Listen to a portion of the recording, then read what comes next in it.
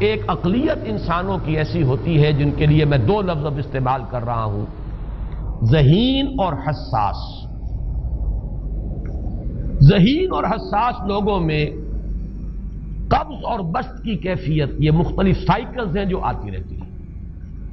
کبھی طبیعت میں پشمردگی ہے، دل بجھا ہوا سا ہے، کچھ نا امیدی سی ہے، خود اپنے اوپر اعتماد کی کمی محسوس ہو رہی ہے۔ مجھ میں صلاحیت نہیں ہے، میں کچھ نہیں کر سکتا۔ اب تک جو کچھ کیا اس کا بھی ہے، امنگ بھی ہے، امید بھی ہے۔ روشن پہلو نظر آ رہے ہیں۔ قبض کی کیفیت میں تاریخ پہلو نظر آتے ہیں۔ مایوسی کے پہلو نظر آتے ہیں۔ پیسیمزم کی کیفیت۔ اور یہ جو بست کی کیفیت ہے، اس میں روشن پہلو۔ دیکھو، یہ بھی تو ہے نا۔ آخر یہ بھی تو ہوا ہے۔ اور بھی ہو سکتا ہے۔ آخر اب تک میں نے یہ کام بھی تو کر لیا۔ آگے بھی مشکل آسان ہو سکتی ہے۔ یہ دو کیفیات ہیں قبض اور بست کی، جن کو کہ صوفیاء کرام نے یہ اصطلاحات، یہ عنوان دیے قبض اور بست۔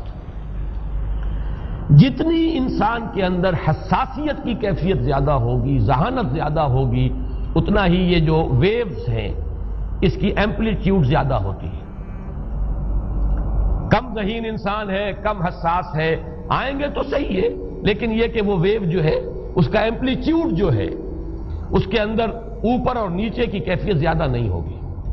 لیکن جتنا یہ معاملہ بڑھتا ہے، یہ جو ویو ہے، اس کی ایمپلیٹیوڈ بڑھتا چلا جاتا لیکن نارمل انسان کا معاملہ یہ ہے کہ یہ حدود کے اندر رہے، اسی کی ایک کیفیت جو ہے، اب نارمل جب ہو جاتا ہے یہ یہی ہے جو جدید ہماری جو سائیکولوجیکل میڈیسن ہے، اس میں اسے مینیکس ڈپریسو سائیکوسس کہا جاتا ہے۔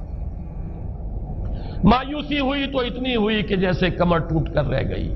اور اسی ڈپریشن میں ہوتی ہیں خودکشیاں۔ خودکشی کر جاتا ڈپریشن کچھ روشن پہلو نظر ہی نہیں آ رہا۔ کوئی امید کا پہلو نظر ہی نہیں آ رہا۔ کوئی صورت نظر نہیں آتی، کوئی امید بر نہیں آتی۔ کس طرف جاؤں، کدھر دیکھوں، کسے آواز دوں۔ اے ہجوم نام مرادی دل بہت گھبرائے ہیں اور جب آدمی محسوس کرتا I can't face these realities یہ کمٹ سوسائڈ یہ اور جب کیفیت ہوتی ہے انشرا کی، تو آدمی خوب بھاگ رہا ہے، دوڑ رہا ہے، امنگ ہے، محنت ہے، دوڑ رہا ہے، امیدیں ہیں۔ اب ہر چیز کا روشن پہلو نظر آ رہا ہے۔ عجیب ہے یہ۔ اصل میں مجھے کچھ تجربہ بھی ہوا ہے۔ ہمارے خاندان میں بھی یہ مرض موجود رہا۔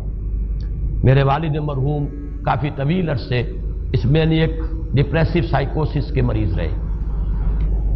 کچھ ہوتا ہے یہ معاملہ۔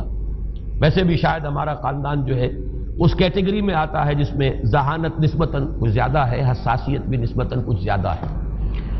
یہ دوسری بات ہے کہ کوئی شخص جو ہے یہ فلسفے کے طور پر اختیار کر لے کہ اپنے آپ کو ڈھیٹ بنا لینا ہے، یہ فلسفہ بھی بن سکتا ہے۔ لیکن یہ ہے کہ اگر آدمی چھوڑ دے اپنی طبیعت کو تو یہ دونوں کیفیات آتی ہیں۔ انہی کیفیات میں اگر یہ جو اپورڈ اینڈ ڈاؤنورڈ موومنٹ ہے، یہ ایک حد سے نکل جائے تو یہ بیماری ہے۔ مینیک سائیکوسس مینیک ڈپریسو سائیکوسس اس میں جب آدمی ہوتا ہے وہ اپر کیفیت میں، تو اس کے اندر بڑی عظیمت ہے، روشنی ہے، امید ہے۔ لوگوں سے گفتگو کر رہا ہے، حق بول رہا ہے۔ خوب جو ہے محفل کے اندر، اب وہ محفل میں اسے دلچسپی محسوس ہو رہی ہے۔ اور اسے ہر چیز کا روشن پہلو نظر آ رہا ہے۔ خود اپنے وجود کا بھی روشن پہلو، دوسروں کے وجود کا بھی۔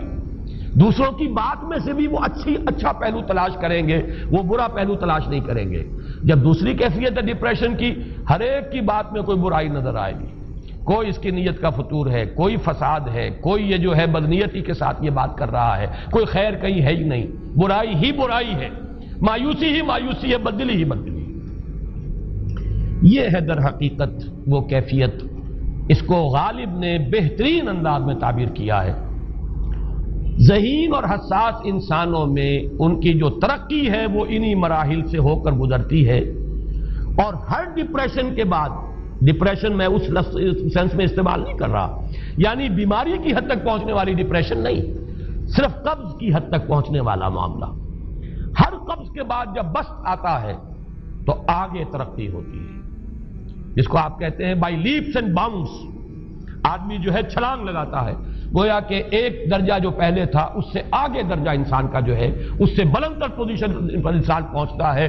ہر قبض کے بعد جو نیا بست آتا ہے، وہ ایک نئی کیفیت، نئی شان، نئی بلندی، نئی رفت لے کر آتا اس کو غالب نے تعبیر کیا ہے، بہت خوبصورت انداز۔ ہے رکتی ہے میری تباہ، تو ہوتی ہے رواں اور۔ یعنی شاعر بھی کبھی ایسا وقت آتا ہے شعر جو ہے اس پر نازل ہی نہیں ہو رہا۔ شعر نہیں کہہ پا رہا۔ طبیعت میں رکاوٹ سی ہے، بندش سی ہو گئی ہے۔ کوئی کلام موضوع ہو ہی نہیں رہا۔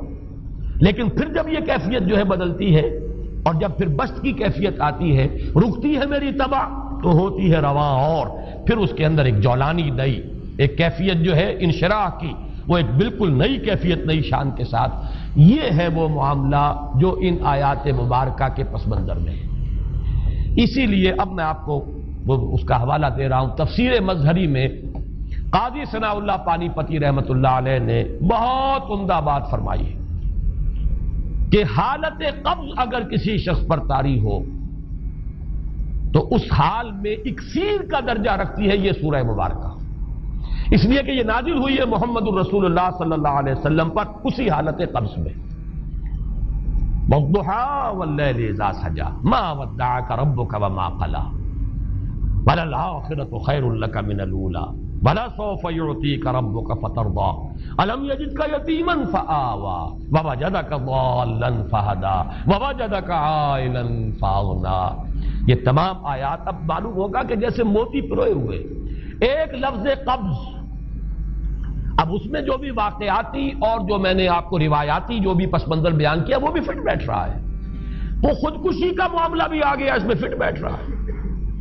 کہ بخاری شریف میں روایت موجود ہے کہ حضور فرماتے ہیں کہ میری طبیعت پر اس درجے اضطراب تھا، اتنی کیفیت جو ہے میری تشویش کی تھی کہ میرے دل میں بار بار خیال آتا تھا کہ پہاڑ پر چڑھ کر اپنے آپ کو نیچے گرا دوں۔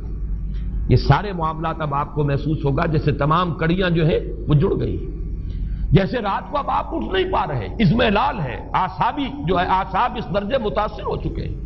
صرف یہ ایک احساسات کی کیفیت نہیں ہے، آپ کی قوت فیلی جو ہے، قوت عملی، وہ بھی اس درجے متاثر ہو چکی ہے کہ کئی راتیں گزر گئی اور آپ رات کو نہیں اٹھ سکے۔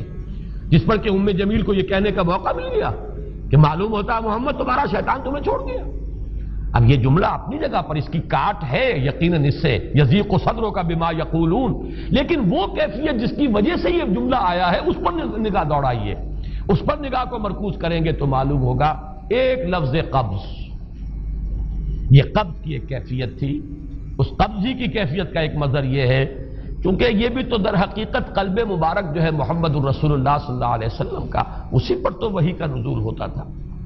یہ بھی وہی داخلی احساسات و کیفیات کا معاملہ ہے۔ یہی بھی در حقیقت یہ واردات قلبیہ ہی کا سارا معاملہ ہے۔ اس کو آپ خارج سے تعبیر نہیں کر سکتے۔ نہ بھی کوئی ایسے مسائب تھے، نہ ایسی کوئی مشکلات تھیں۔ نہ ابھی کوئی رد و قضا ایسی شروع ہوئی۔ نہ ابھی کوئی بحث و نزا کا معاملہ ایسا ہوا۔ نہ کوئی ابھی کوئی فزیکل پرسیکیوشن شروع ہوئی۔ یہ سب داخلی ہی کیفیات ہیں۔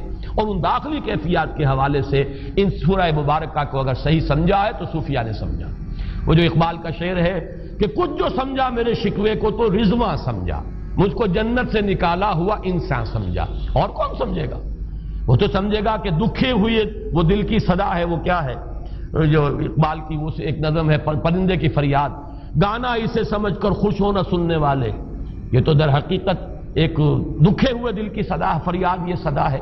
تو یہ کیفیت جو ہے رضوان سمجھ سکا ہے، جو کہ داروغ جنت ہے۔ اس نے سمجھا یہ وہی آدم جو نکالا گیا تھا یہاں سے، یہ اس کی فریاد ہے۔ کچھ جو سمجھا میرے شکوے کو تو رضوان سمجھا، کچھ کو جنت سے نکالا ہوا انسان سمجھا۔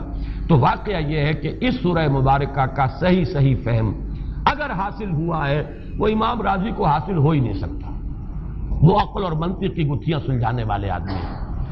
اپنی جگہ ان کی کنٹریبیوشن بہت یہ لغت اور ادب کا کوئی خاص مسئلہ اس میں ہے ہی نہیں کہ زمخشری اس میں کوئی جولانی دکھائیں اپنی۔ اس میں کوئی ایسا اشکال ہے ہی نہیں نحوی اشکال ہی نہیں۔ لیکن یہ واردات قلبیہ کا معاملہ ہے، احساسات باطنی کا معاملہ ہے، یہ نفسیات انسانی کا معاملہ ہے۔ اور اس کو وہی سمجھ سکتے ہیں کہ جو ماہرین علم نفس ہیں، اور وہ ہیں صوفیاء کرام ہمارے ہاں جن کا وہ ذوق ہے، باطنی کیفیات و احساسات، جن کا موضوع ہے کہ یہ در حقیقت حالت قبض کی کیفیت ہے۔